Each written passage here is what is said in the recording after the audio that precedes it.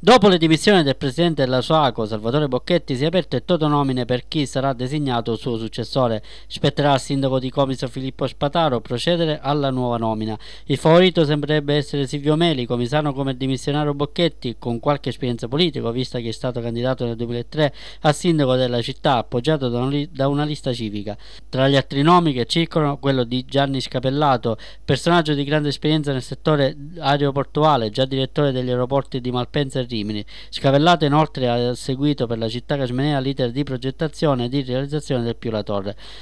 La sua candidatura troverebbe l'appoggio del deputato ebleo Pippo Di Giacomo, che lo riterrebbe una figura chiave di cui lo scalo comisano avrebbe bisogno in questo momento. Sembra invece che la nomina di Giovanni Occhipinti, leader di Insieme e presidente del distretto turistico degli Iblei, sarebbe fuori discussione. Lo stesso Occhipinti ha infatti dichiarato nei giorni scorsi di non essere interessato all'incarico. Il mistero dovrebbe essere svelato comunque nei prossimi giorni. Si procederà intanto con la convocazione dell'assemblea dei soci per discutere della situazione e successivamente con la convocazione del consiglio di amministrazione per l'elezione del vicepresidente. Sono tante le sfide che si aprono per l'aeroporto ebleo nei prossimi mesi. Dalla questione gestione delle rotte sociali è quella della destinazione di fondi ex Insicem.